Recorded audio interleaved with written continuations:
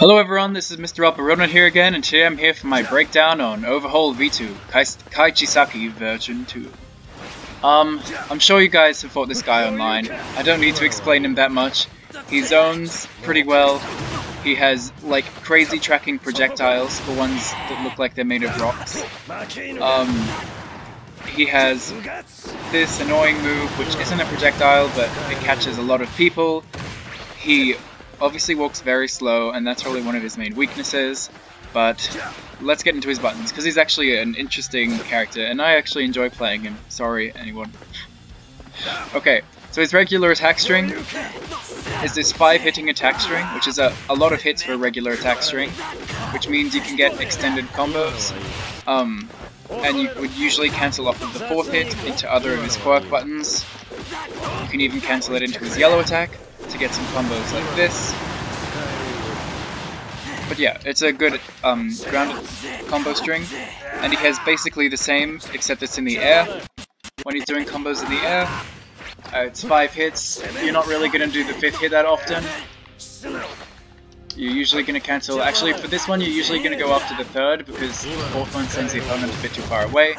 But yeah, his red attack is pretty average. It's probably one of his weaknesses as well. It doesn't have great range. It's not crazy fast, it's average speed. And But at least he can combo out of it. So, you know, he can use it as a red attack mix-up.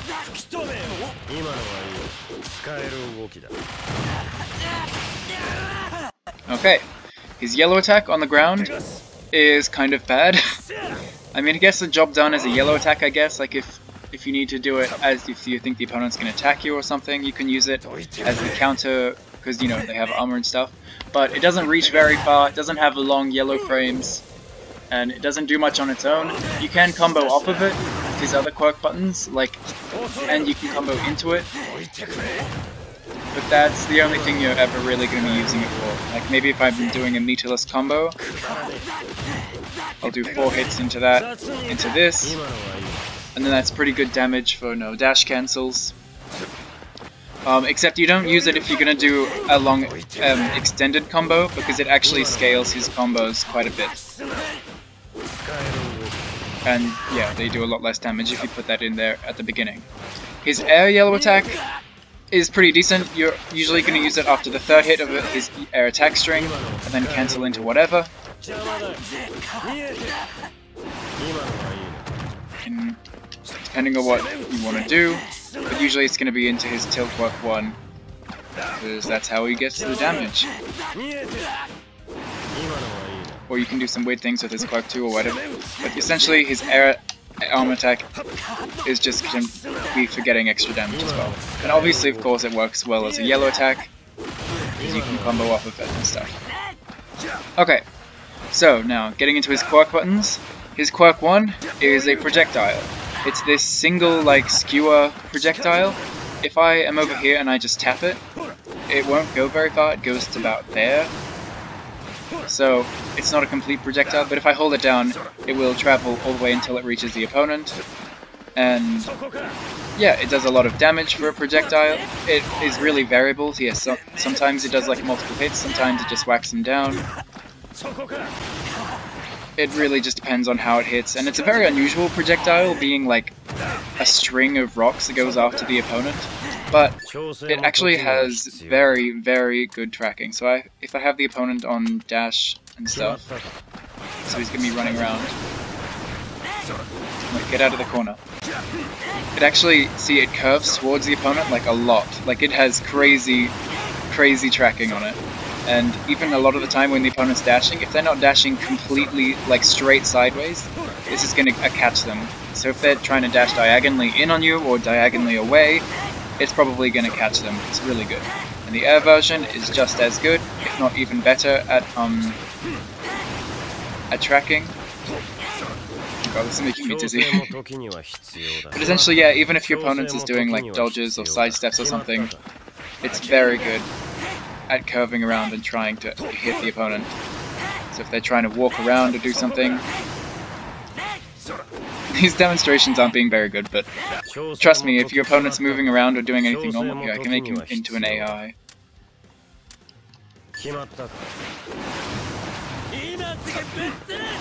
See, a lot of the time, and it's safe from this far away, a lot of the time if they're running away, it's just gonna hit them. It's a good projectile, it's safe from a distance, and yeah, I'm not doing a good job at demonstrating it. Um, you can get a combo off of it if you dash cancel. It looks like you can get a combo like normally, so, but if the opponent doesn't recover, you can get a combo, but the recovery happens like right on where where your attack would hit, so if you want to get a combo, I suggest dash cancelling. And a lot of the time if I'm throwing out this projectile, like from the air or something, I'll just be mashing the dash cancel button, because then if it does happen to hit, I can dash in, and a lot of the time you can get a combo, because the opponent isn't instantly recovering like this AI is.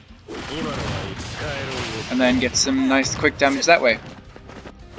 And you may have noticed a lot of his combos are ending with a meteor blow, but that's actually good because a lot of his projectiles and things have slow startup, and like this is really slow. So once they're in a meteor blow, you have a lot of time in order to put up these slow projectiles. Um, anyways, yeah, now that we've talked about this move, which I think it looks really cool after you do um, four hits, because the opponent is like suspended in the air. Like that, I don't know, it, it looks kind of, it's very scary and overhaul-like, just holding them in the air with that like skewer. Anyways, this tilt quirk one is this move where he just like launches you in the air, then puts a bunch of rocks around you and then they explode. And it's practically the same in the air, except he launches you to the ground, puts the rocks around you, and then they explode. So this is obviously his big damage um, special quirk move thing.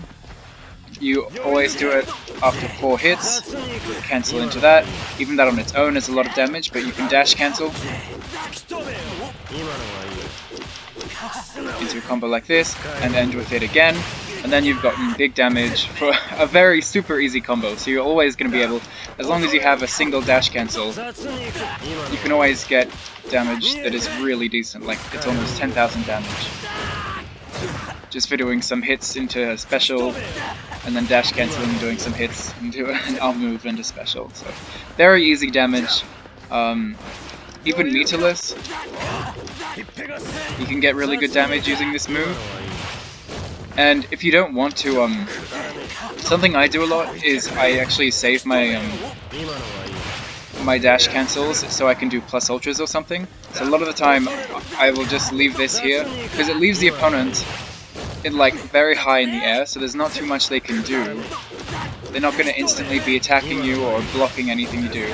So a lot of the time I jump in the air and then start doing his projectiles, which are really likely to catch the opponent, especially this Quirk 2-1 in the air. It has crazy tracking, so even if they like sidestep or something, it's probably going to hit them. But yeah, a lot of the time you don't even need to do a dash cancel after this. You just have the opportunity to go in for his projectiles then. I could go in for the other one or like do whatever. I could even stay on the ground and go for this one and then when if they recover on top of me, wait, I walk a bit backwards for this one. Oh yeah.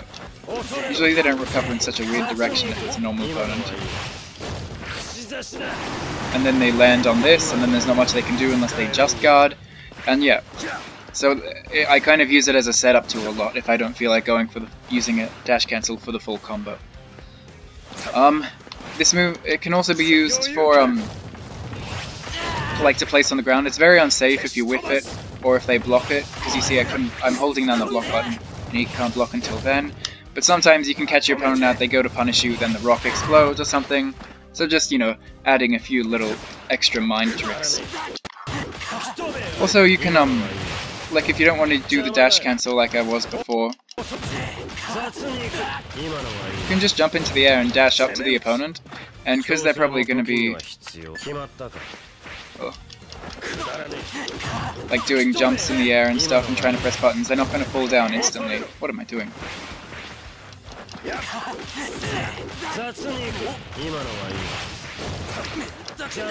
And you you can usually get a combo after they recover because they're not expecting you to run up at them because you've, you've probably done projectiles or something the last time so they're going to be like trying to get and like sidestepping or whatever so you can just charge up and then do an air combo after their recovery.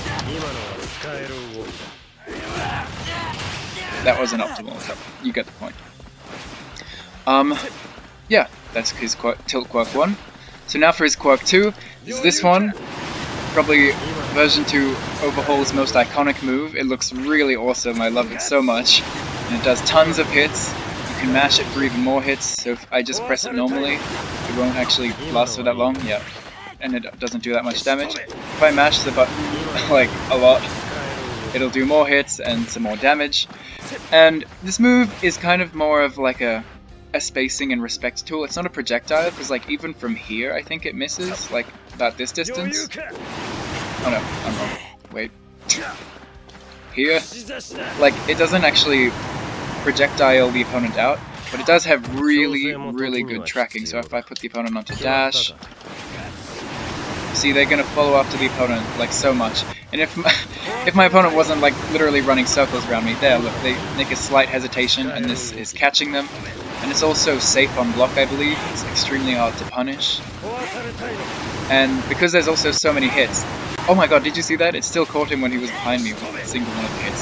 So yeah, it has really good tracking, and it basically just makes the opponent really scared to come towards you, because there's just so many hits coming out, it's almost like a force field, because if they come near you, one of those rock spike tentacle things is gonna come and, yeah, make the whole thing hit.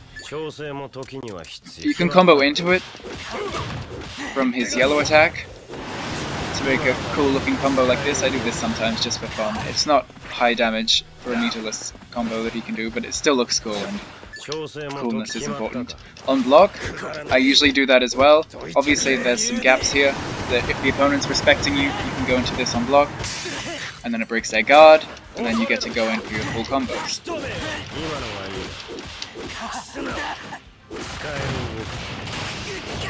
And yeah, if they if you think they're gonna sidestep, because there's some gaps like in his third and fourth hit, like in between this one here and then there. So if you think they're gonna try and sidestep, you can like cancel into this, and then it'll catch them trying to. Here, I, uh, can I show this? Three, and then I'm gonna get him to dodge. I don't know if this is gonna work, but it, it it works a lot of the time and see like they try to sidestep and then they get punished in a really weird way. It's just a really good move for like catching the opponent try to move or do anything near you, even though it's really slow in startup, so you have to be careful where you use it. You can't just be like running around around here and then just decide to use it, because your opponent is going to interrupt it for sure, because it's not that fast. So you have to be very calculative as to when you use it, whether you use it in a block string where you think they're going to do a sidestep or something, or you can use it after you've done your combo and it ends in a meteor, in, uh, meteor blow, sorry. So my opponent was meteor blow, so I know he's going to be on the ground for a bit, so I can start this up and he has no chance of punishing me. Or if I think he's going to try and run in or something, I can put this out just to make him scared of running at me. It, it's a really cool move, I like it a lot. Okay, now for his Tilt Quirk 2. Um, by the way, oh yeah, I'll stay on his Quirk 2 for a second. Um, his air version, he can't do the rapid strikes, but it has this version, which is really, really good. Crazy tracking, it does a lot of damage, you saw there, almost 5,000 damage for one projectile. See, Bakugo is running around, this is still catching him. Is that not ridiculous to you? So like your opponent could be dashing as much as you want, but if they decide to not block for a second, they're going to be hit by this 5,000 damage projectile. Like, it's crazy, it does so much damage. You, like, what? And after they get hit by that one, they're left in the air, unless they decide to not recover. And then you can go for this one, and then they're probably going to get caught by that. And yeah, this is just where his zoning gets really crazy. So they decide to recover, and they're probably going to hit, get hit by your quirk 1 after that. And then you're, if you're on the ground, then you can go for this. And yeah, he just has really, his projectiles have such good tracking and they do a lot of damage, it's just really scary. And like I said before, I often do that um, air quirk 2 if I jump into the air after doing his combo starter, because then I've gotten 6,700 damage on top of 2,000, sometimes it does 4,000 damage, and then you've like gotten an easy easy 10,000 damage that didn't cost you like any dash cancels or anything. And you're, after you've hit all that, you're quite a distance away, so you've gotten a 10,000 damage like reset combo, and you're able to go in for all of your crazy projectiles again. So yeah, really scary stuff. Okay, his tilt quirk 2 is this red move, and not only is it really good because it leads into combos, it is really good because just like all of his other moves, it is crazy tracking. So Bakugo's running around me, you see? Did you see that? It curves. It's a red move that catches an opponent running around. So if your opponent is doing anything, like, and it's a red attack, so there's not even that much they can do to like avoid it, except going in the air or doing a sidestep at that perfect moment. But it tracks your opponent so much, it's really, really a scary red move. And as you can see, it has a really good distance. So a lot of the time, I use this red attack like all the time over my other red attack. It's so good, it leads into a combo. It does more damage than the other red attack. and yeah, yeah you get 11,000 damage from it if you do your combo afterwards. So, yeah, highly damaging, even if the opponent is on dodge. A lot of the time, I'm gonna catch them.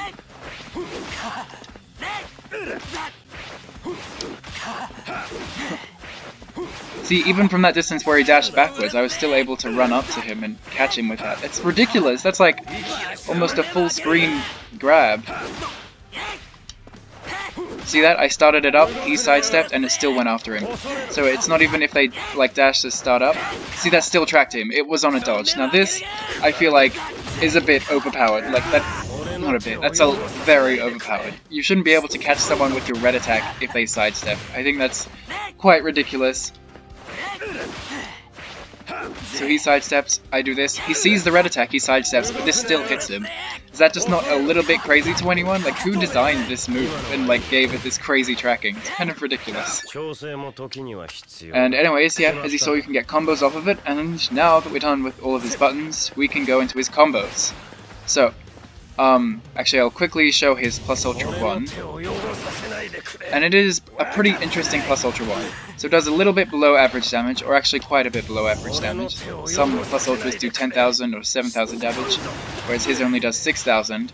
But damage isn't where it prevails. As you saw, he had like these green effects happening on him, and I'm not sure if I can take my health down. Um, but essentially, um, it heals him. It heals him like, I don't know, for about 500 of uh, 5,000 damage. So about the chunk of, um, if you see the letters of plus ultra, it probably is the LTRA amount of health. So it's a decent amount of regeneration after he does his plus ultra. So if I do a combo like this, and the main way you're going to be comboing into it is just from his regular attack string, because then it connects most consistently.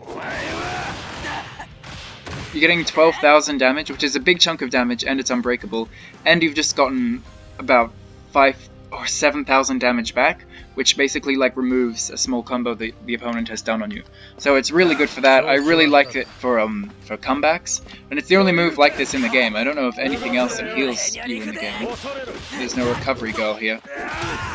So yeah, if you're like really low on health and you want to make a comeback, a lot of the time I'll cancel into this earlier than I normally would just to make sure I get gets you a big chunk of damage and brings you life back. So it's like the perfect comeback recipe, giving you some more life and taking away a lot of theirs. Like if they have support, you can cancel it early, and you're still going to get a nice decent chunk of damage. Um, you might see people doing trying to do some fancy combos like something like this, because you can cancel it after the tilt up one in the air because it brings you down to the ground. But I find a lot of the time it's not that reliable and you end up getting a lot less damage than if you just did a regular attack string. Like, even if I do something...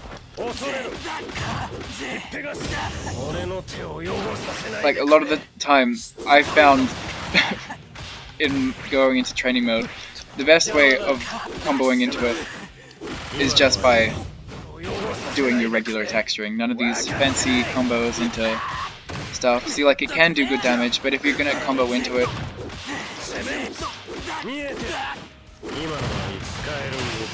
Yeah, a lot of the time, and then that, that meteor blow as well. So, yeah, it's just not that reliable. Do a regular attack string, and you're getting like 11,000 damage, don't complain, and you're healing. But anyways, now let's get into his combos.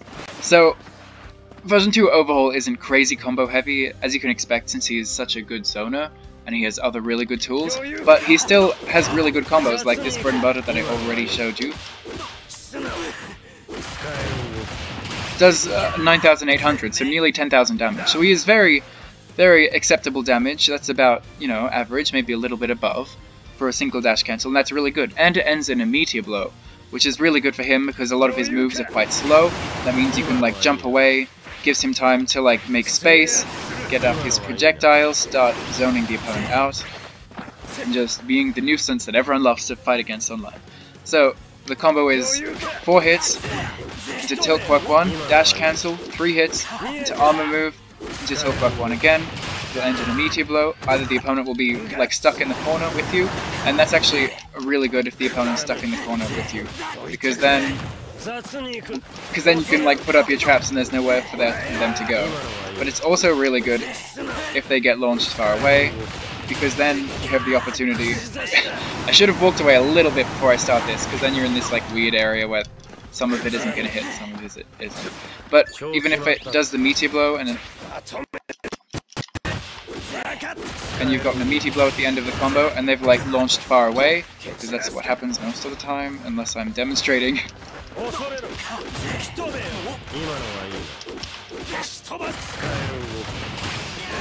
Of course it isn't going to happen now, but a lot of the time they like bounce off of the wall,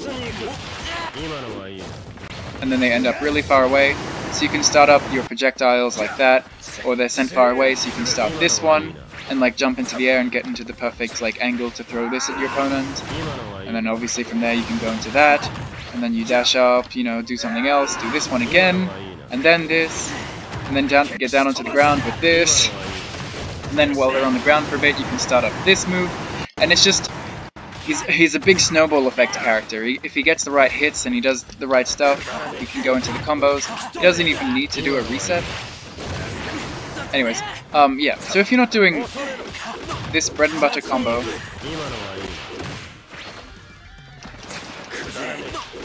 so yeah, bread and butter combo, something like this, that does the most damage.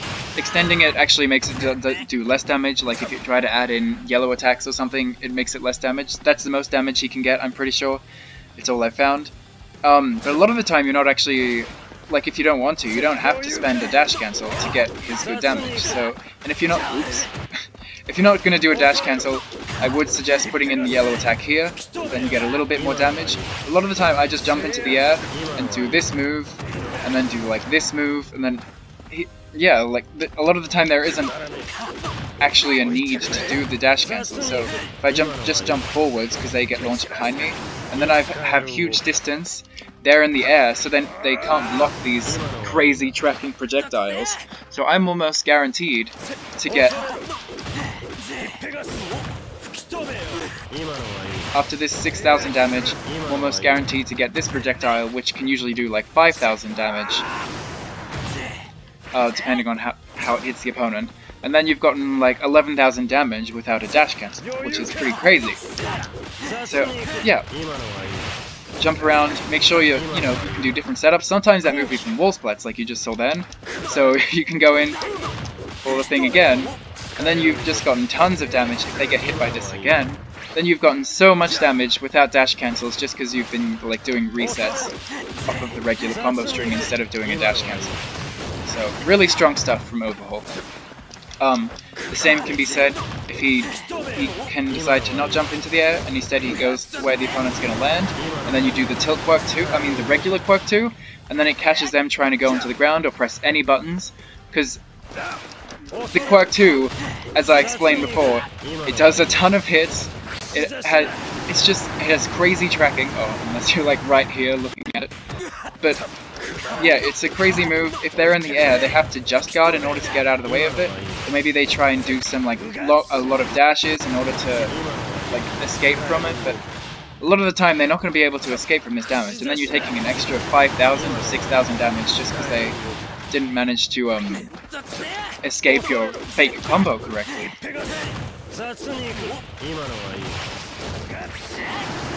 So yeah, very strong stuff. Even if they're not real combos, you can get tons of damage with Overhaul.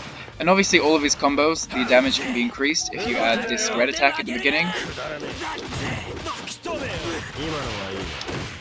Um, sometimes you have to reduce the combo a little bit by like removing yellow attacks or something, because the meteor blow will happen earlier.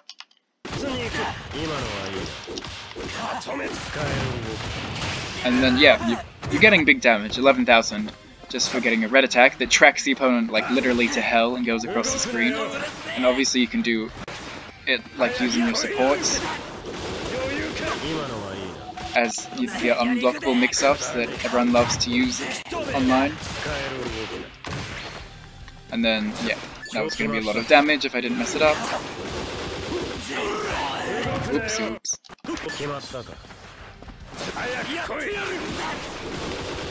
今のはいいな恐れろ雑に行く使える動きだ消し飛ばす 12,000 damage just because you did an unblockable mix-up with Rappa, and Rappa was nearly back at the end, so it's like you didn't even use him. Um, I've got regular Shigaraki in here as well, just because, you know, having more screen control, if I dash up and put him out, I can get combos that way, or no I can't. but a lot of the time I, you know, dash around and put Shig Shigaraki's puddle on the ground, if I see them get hit by it, can get a combo from it, or, you know, just put it out, control the screen, be scary. Anyways, yeah, that's about all I have for his combos. If I'm comboing into the plus ultra 1, usually I'll do, like if I get that red attack, I just do his full attack string into the plus ultra 1. This applies for plus ultra 2 as well. And there you go, 12,500 damage, and I've just taken, um, gained a lot of health back. I've healed a lot, so it's worth a lot more than 12,500 damage. It's really, really good combo. Um, if you're gonna do your plus ultra 2, that's where you can actually do some of these like fancy things. So if I'm going like